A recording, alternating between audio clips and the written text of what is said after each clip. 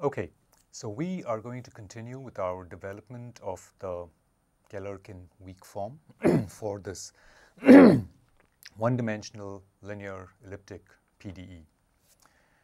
Let's uh, begin by recalling where we were. So we've got as far as um, here. If this is our domain of interest, or this is the physical problem we are looking at, we have this bar.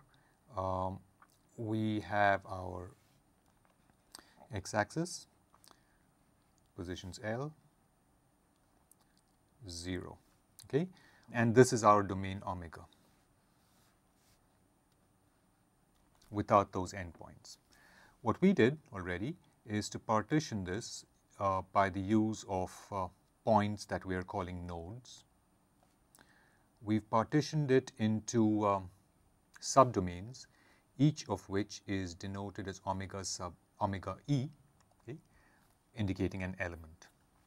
The nodes that we have used are labeled x1, x2 and so on. In general, this would be the point xe and that would be the point xe plus 1.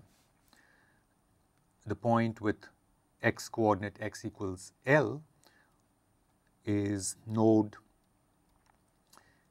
n number of nodes, n nodes, that indicating number of nodes. And uh, we also observe that the number of nodes is equal to our number of elements plus 1 in one dimension. Okay, in one dimension also for the very specific um, manner in which we are partitioning omega for this simplest of finite element examples. Okay simplest of finite element cases.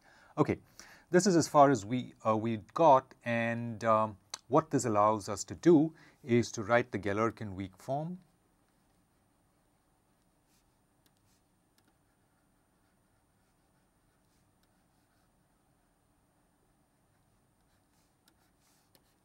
As follows. We can now write it as a sum over E going from 1 to number of elements of an integral over omega e of w h comma x sigma h a dx equals sum over e going from 1 to number of elements integral over omega e e w h f a dx plus w h at L which of course is our uh, last node times T which is the traction times area. So, this is our Galerkin weak form. Now, um, observe that uh, each integral really is uh, redefined in this uh, expression uh, as an integral over the relevant uh, element subdomain. What we need to do to proceed is to talk of how we are going to write out um, a representation for our trial solution.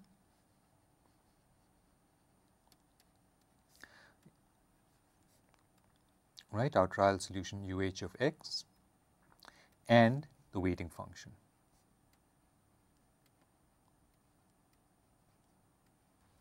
Okay, this is what we need to do.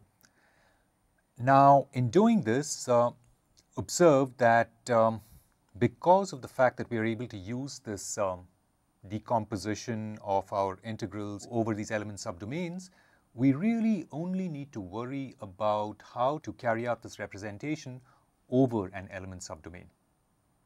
Okay? So, let me state that.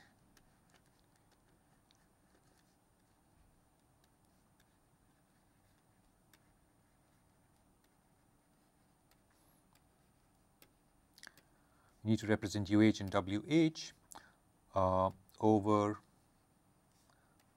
omega E, right, where of course E goes from 1 to number of elements, right? So we have the advantage of uh, needing to focus only upon what often gets called a local representation here, right? Local being local to the element, okay?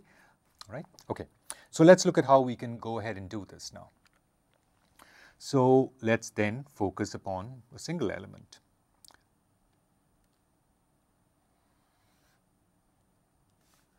That is xe, that is xe plus 1 and um,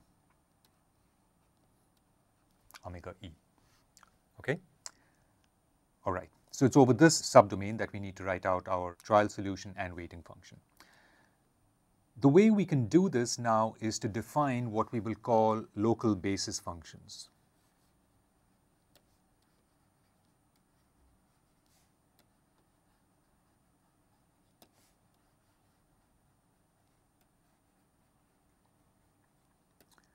We define local basis functions on omega e. Okay? All right.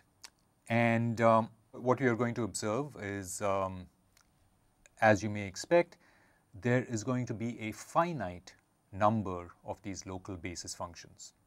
Okay? So we define local basis functions on omega e, and let me also state that we will define a finite number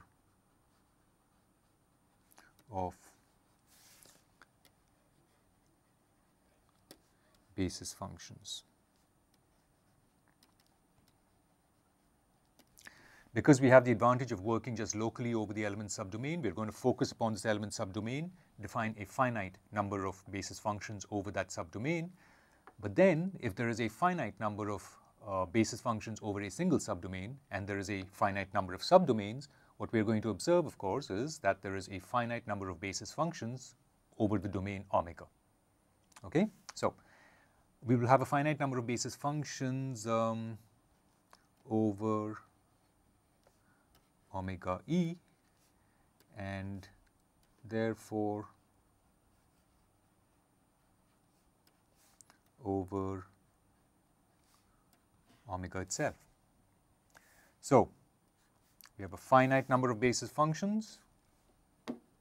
Naturally, of course, our weak form is going to be finite dimensional, right? So that, that's the connection, right? So, so when it comes down to defining a finite number of basis functions, we, we are assured of having a finite dimensional weak form, the Galerkin weak form, okay? That's how we want to think about it. All right, so let's talk about what these uh, basis functions are going to be. We are going to take, um, in this um, initial entry level, very first presentation of a finite element method, we are going to take the simplest possible basis functions. Okay? We have an element and um, it is by choice, by the way, that I have chosen an element to have only two nodes on it. We are going to use those two nodes to write out, um, to expand fields of interest over the element in terms of just two basis functions. Okay? Okay, so what we're going to do is the following. Uh, we will define uh, two basis functions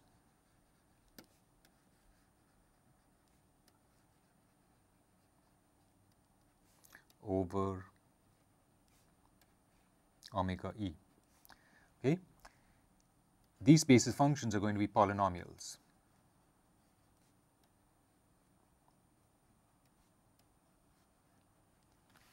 Okay, and um, since we are in one dimension, if we have two basis functions uh, and the basis is complete, it follows that we are talking of representing functions as uh, what type of polynomials?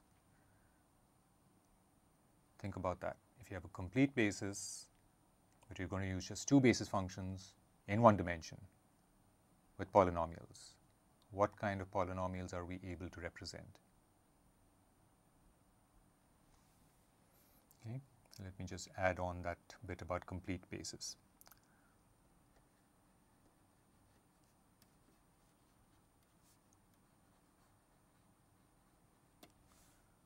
Well, probably got the answer.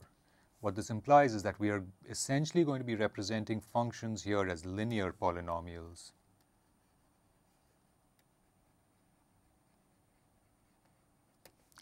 on omega e. Okay? This is the simplest sort of uh, polynomial basis function we can uh, adopt in the most standard type of finite element method. There are finite element methods in which we can even use constant polynomials. Uh, they need a little more work than we need to do, than we should be doing at this uh, early stage of developing the finite element method. So, so we go with linear polynomials. Okay. All right, uh, let's actually write, write these down now. So the way this works is, is the follows. Uh, graphically, this is what we will do.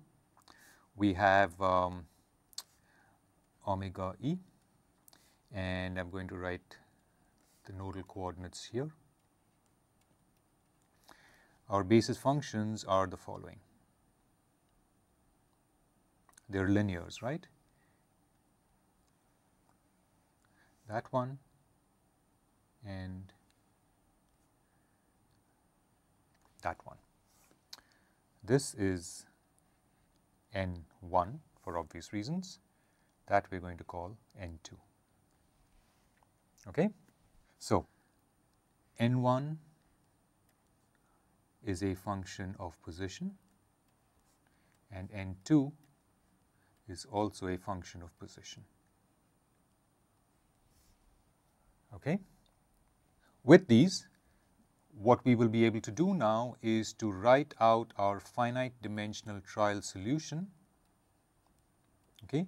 And for the very just, just for this case, I'm going to specify that uh, this is the finite dimensional trial solution over element E, okay, restricted to element E and obviously it is restricted to element E because it's over element E that we've defined our basis functions. Okay. So, the way we write it out in this case is um, sum um, A going from 1 to um, number of nodes in the element. n sub n sub e is for number of the capital N is for number, the little n is for nodes, and E is element. Okay, so we have two nodes in the element, so n and E is equal to 2. Okay, um, so the way we write this is then NA function of position times some degree of freedom that is being interpolated. And we will write that degree of freedom as D um, A sub E okay, which in detail is simply n1 function of position times a degree of freedom, sorry, that degree of freedom should be 1, degree of freedom 1 corresponding to element E plus basis function 2 function of position times degree of freedom 2 corresponding to element E. Okay? So, in this what we have is that NA of x is the basis function.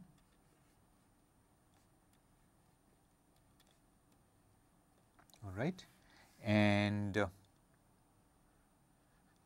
dA of sub E is the degree of freedom. Okay. Um, also this is uh, na is basis function a where a equals 1 comma 2 and dA sub e is degree of freedom um, a equals 1 comma 2 uh, on element E. Okay.